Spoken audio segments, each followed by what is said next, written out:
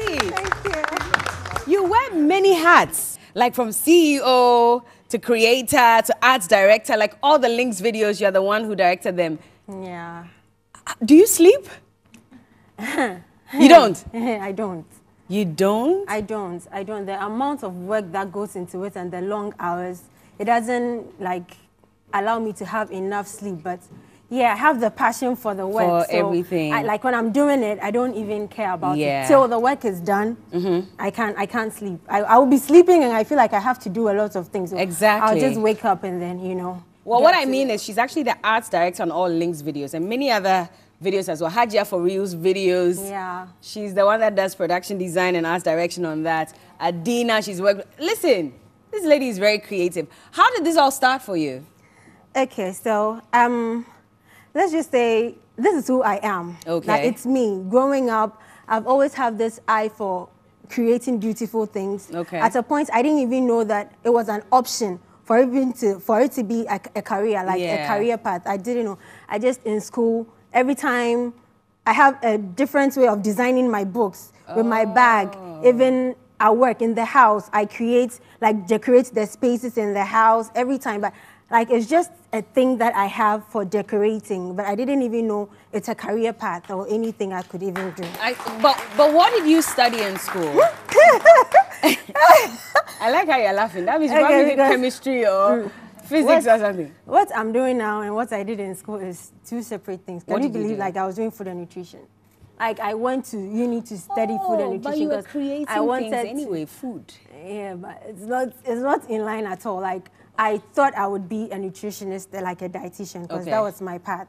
So after uni, I just after uni NSS, then I had the opportunity to travel to the states. Mm-hmm. So there is where I saw that there is opportunity in art and design. And I knew definitely that I had That- to come back home Yeah. and then create something and do like and make a difference. You didn't enjoy it As in, when, when you were out, because you said you came back home. Yeah, as in, I knew uh, like all the arts and the I said like I learned some things Mm. online, and you know that that space is already There's taken. much like there's so much learn. going on over there. So I realized my country needs beautiful things too. So I wanted to come back home and then create. So, what like, was the first nice job things.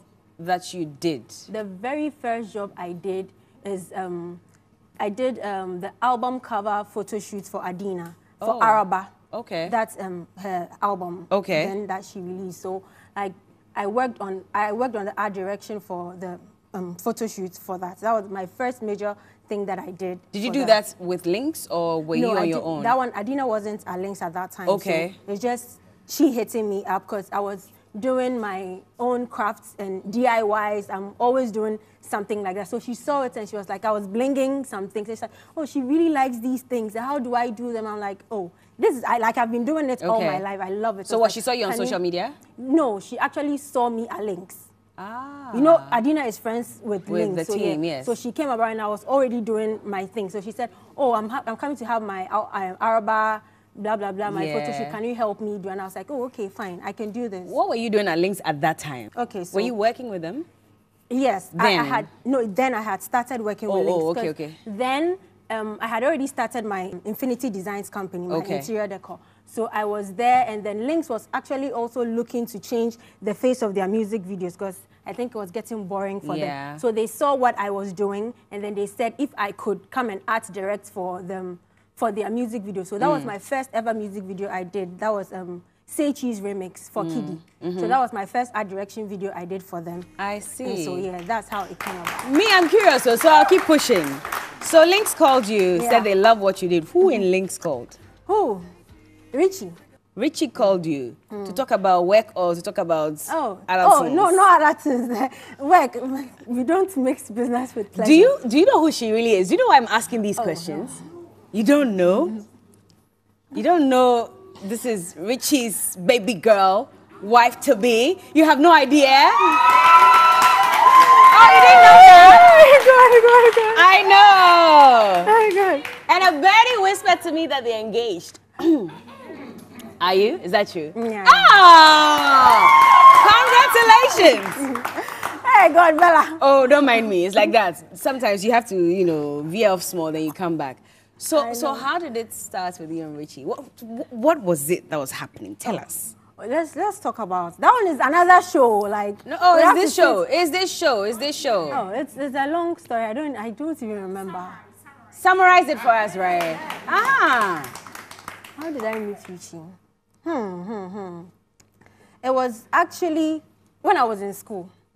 When I was in school, you see how Lynx we used to do the Lynx TV, blah blah blah. remember so that, a friend of mine used to intern at Lynx at that time. So they were looking for a presenter Mm. to do their Lynx TV things for them. So they called me. She called me. I think I didn't pick up then. And then Richie called me. Mm-hmm. She said, "Hi, I'm Richie Mensah of Lynx Entertainment. I need. I'm looking for you to do." I said, "Okay." Um, I was in Cape Coast then. I lived in Cape Coast. That's all my life. I've been in Cape Coast. So I said. I usually come to Accra to visit my cousins. So I said, okay, I'll come to Accra. So when I come, I'll come to the Link Studios. And Yeah. then, so that is when it And that's when it started. started. And the TV show didn't even happen again. Oh, it didn't happen again because you found what people were and she- looking for. we anyway. can't mix work with pleasure, but But you're doing it, and you're doing it successfully. yeah, right now, business is business. It is booming. eh, Very booming. It has to boom. How do you? Okay, you let's move away from Lynx. eh, I mean, from Richie. Maybe we'll come back some way somehow. Hey. But how do you come up with your ideas? Like, how do you know that this is an empty space? I want to create ABC, and you actually do that. honestly, like truthfully speaking, creativity is all around us, everywhere, in our streets, offices, everywhere I go. So I just pick inspiration from what I see mm. and then add my own creativity, my inner creativity to it. It's not anything special where I can say I'm a genius, I have this innate thing in me where I can work magic. It's really all around us. So just like that, even while you're here, I could just see, like, you will never know. I could just see this, and then I'll think of ways of maybe adding things to it, or mm-hmm. even making it better, or changing it all around. It's not that I, I pick inspiration from every online on TV. But isn't it difficult and very demanding? Because Difficult. your idea as against what maybe your client is also expecting. Oh yeah, How do you the most of the time, most of the time, before I even do set design for a client, we just have to meet, discuss it. Maybe he would, he or she would have a total different thing in mind what Mm-hmm. he wants to do, and I'll also maybe approach him with, okay, we can also do it this way, do it that way. So we just talk back and forth, and we come to a conclusion, and then we pick it up from there. So I, I know that if you've been to my boss's office, um, the boss of APL, um, she's the one that did her office, like literally set it up, and it's beautiful. Even these chairs, this little space here was her idea. So I wish you could see her office. But I remember I walked in because Pefi told me you should see my office. then I walk in, I'm like, why don't I have an office like this too? so Baaba, you owe me. You owe me a setup will, I will some way, one for you. somehow. I but that's beautiful. I've seen Thank that. you. I've seen Wonderland. Yes. And from what you did in 2022, uh, what you did in 2021, 2021, yeah. And then I saw 2022 and I was like, this is like even a, an upgrade of what you did. In 2021, I think we just did like 32, 30, 30 to 32 setups. Yeah. But this year, of course, every time we need to go big and Yeah. make it very for my people. So, So you did- we decided to do like 50 installations. So we turned the whole studio upside down. Like we wiped everything off to start from scratch and build all the sets. In how many days? We actually used two weeks to do that. Two weeks to create 50 Yes. different sets. It's two weeks.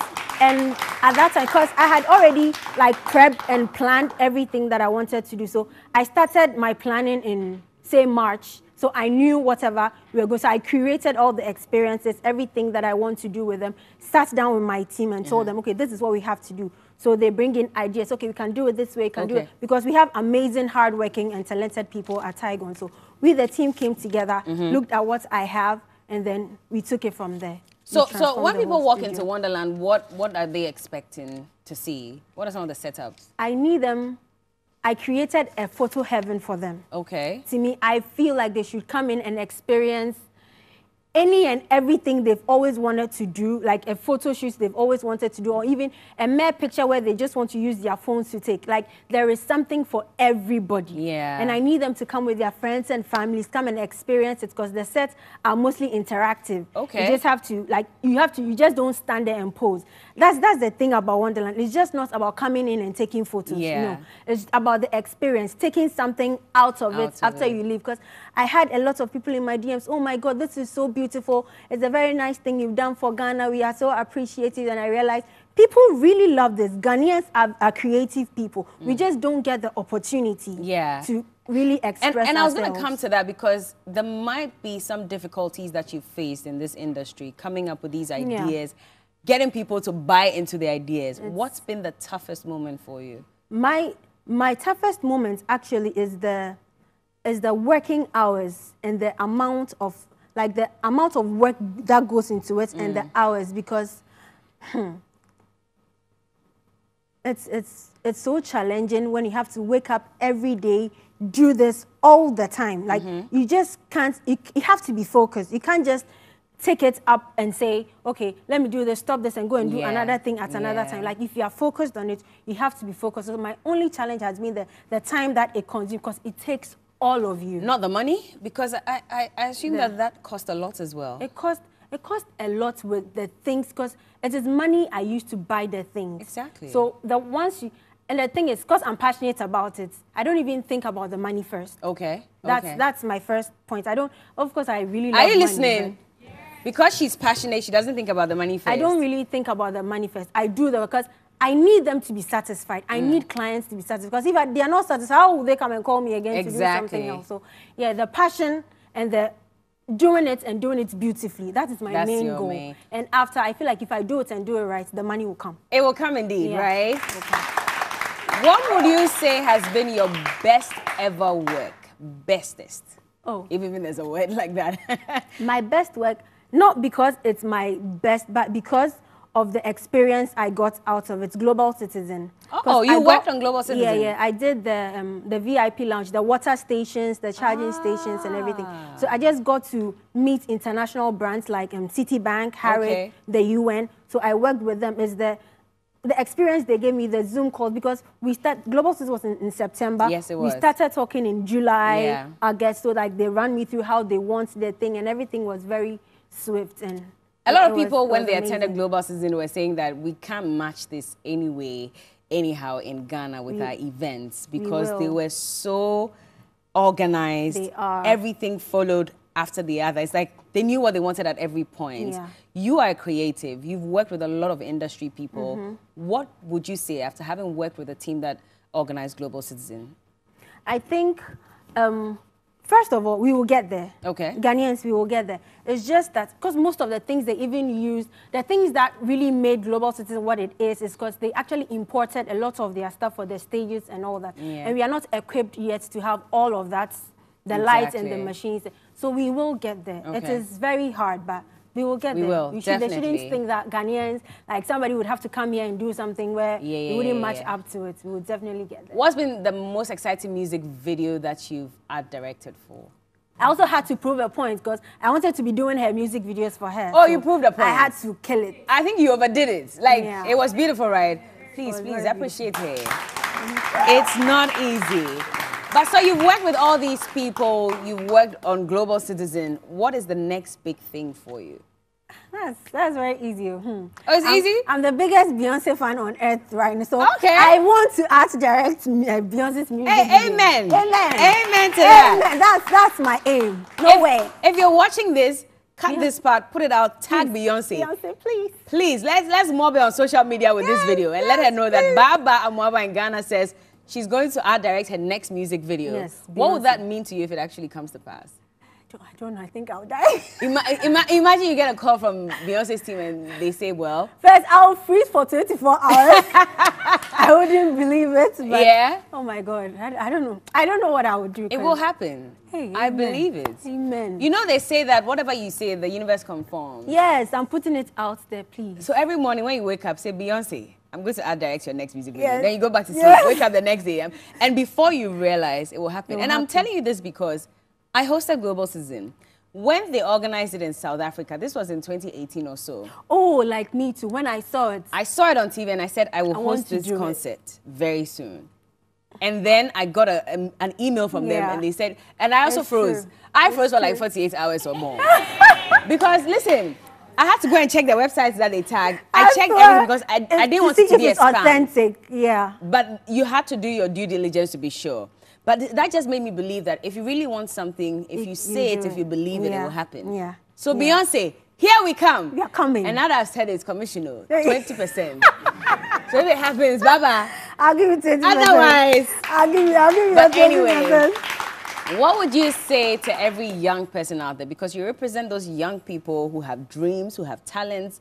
A lot of them don't even know the talent they have. Yeah, it's true. You discovered yours, and now you've turned it into something that fetches you millions of dollars. You have no, you're not doing Oh, don't worry, I'm not exaggerating. It's Oh, happening. they're not dollars, So, so doing what would you say to all those young people out there to encourage them? Okay, I'll just say that you need to be passionate about th- this work. If you really want to get into the field, it's just two things. Be passionate about it and be disciplined. Mm. Because without these two, you give up. It hmm. is hard. The work is beautiful at the end, but it is very hard. So if you're not passionate and be disciplined to do discipline. That's that's the key factor. Discipline. If you're not dis- you will give up. That, that's the only two things. Everything else you can do. Yeah. But to be passionate and have that zeal and discipline to work towards it, that, that's all you need to succeed in that Indeed, industry. indeed, indeed. On that note, so when he popped the question, how did you react? Hey, you ready? You thought I was going to let you off. I told you I'll find a way to come back anyway, anyhow.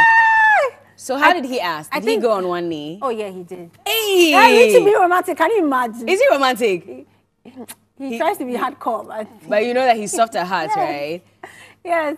Oh, I, I, I didn't believe it. I think they planned it with my family. Okay. Yeah, it was it was his birthday actually. Ah. So yeah, I didn't believe. So we went away, blah blah blah. So we had dinner after. And, You went away to Oh, Accra here, no, nowhere. I think I saw you guys on a boat somewhere. Hey, Was that upper? Yeah, it was his birthday. Yeah, I've been following you. Oh, that was not. That was. That not, wasn't the that one wasn't- eh? But you people were on a boat. No, it was his birthday. Or was it your birthday? It was someone's birthday. And Either of you. The bloggers got me like that. Uh-huh. Oh, that one was Valentine's Day. Oh, that. Okay. But it was his birthday, you went away, and then what happened? Tell us. And And uh, he popped it. Did you cry? oh, I was shocked. Because I wasn't expecting it. But What's Richie like as a partner? hey, Richie is amazing. oh. I don't. I don't know. The way you I- said, hey, I thought you were going to say something. oh no, as in, if I have to start describing who Richie is as a partner, we won't leave here because eh, he's, Oh, you're he's so in everything. love. Eh, I lo- yes, yes. you love him? Ah. This is so cute. How long have you guys been together? Two years. Two years. But I've known him for like Yeah, seven years. like but you mentioned. Being together, like, yeah. Two years. Serious, serious. Yeah, seriously. So the wedding is happening soon. Wait, let me see the ring again, darling. Let me see. Let me see. It's shining. It's shining. Eish. You will receive your boyfriend in Jesus' name. So all of you are single. Oh, more bread. It is well. Don't worry. But congrats, congratulations, and I wish you, you. the best. If you don't Thank invite you. us to our wedding, all of us, eh? Oh, you come. We will be there. When I I invite us or not, we'll, we'll get crashed. Hey, how? Oh, You ask see, us Richie how. is anti-sobi like that, so I don't know. He doesn't have how- a choice. Oh, We are coming. it's hard. But whatever happens, all the best to you Thank too, you. and to your companies as well. Hey, I need I know it. you guys Thank are you. working so hard. We see the great things that you do in the industry. Keep it up. Thank and you. thank you for bringing a change in the industry. More you have no idea what you're doing. Thank you. for a lot of us. More to come. More come. to come. Yes. Amen to that. A museum someday, like a Madame Tussauds. It's in the works. It's in the works, right? Imagine us we have having to our have own. your statue in mm. there, right mm. there. Mm. Ah! Should I, should I wear bikini or? Oh, no. Oh, you don't want a bikini. Okay, I hear you. Whatever you say, I'll be there for you. But thank you so much. Thank you. Put your hands together for Baaba Amoaba, General Manager and Creative Director, Tigon Creative Studio, CEO, Infinity Designs, Creator of Wonderland, Art Director on All Lynx Videos, and many other people. Example, Hajia for Real, Adina, and the list goes on and on. I forgot to ask you, if you had to work with another artist in Ghana, who would it be? I think King Promise. So, Okay. Yeah, maybe King Promise. Maybe him, right? We're looking forward to that. He too, he does a lot of romantic videos, so I can just imagine. Yes. Let me know. I'll join you in the, you know, on set. I'll be his girlfriend in the video. What do you say? anyway, from a great lady to another great lady, Dinah Hamilton will be joining us shortly. Keep watching. Thank you so much, Baaba. It's been a pleasure having you on the show.